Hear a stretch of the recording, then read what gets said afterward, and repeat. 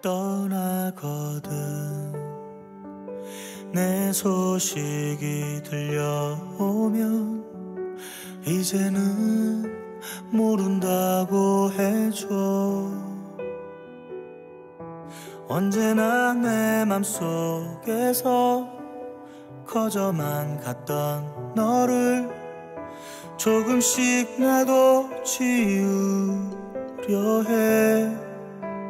사랑해 라고 말하고 싶었지만 늘 미안하다고만 했던 날 잊고 잊혀지고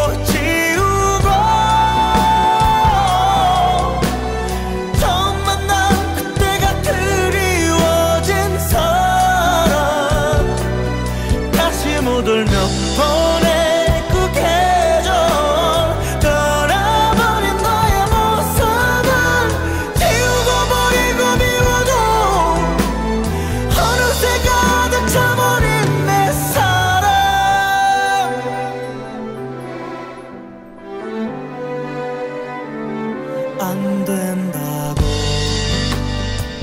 사랑하면 안 된다고. 하지만 우린 함께 했지. 언제나 내 마음이라 사랑하던 마음이라 그리 아파할 줄 몰랐어 미안해 라고 안아주고 싶지만 점이 돼버린 그 뒷모습. 잊고 잊혀지고